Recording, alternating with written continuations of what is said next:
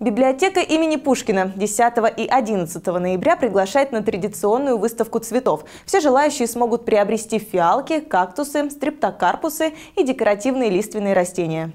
Участники выставки – члены цветоводческих объединений и цветоводолюбители. Каждый раз стараются удивлять новыми и уже полюбившимися сортами. Гостям выставки покажут коллекционные сорта фиалок, стрептокарпусов и других комнатных растений. Поделятся секретами ухода – от посадки листа до дальнейшего выращивания. Отметим, что ценовая политика достаточно лояльна. Купить лист фиалки можно будет за 60 рублей.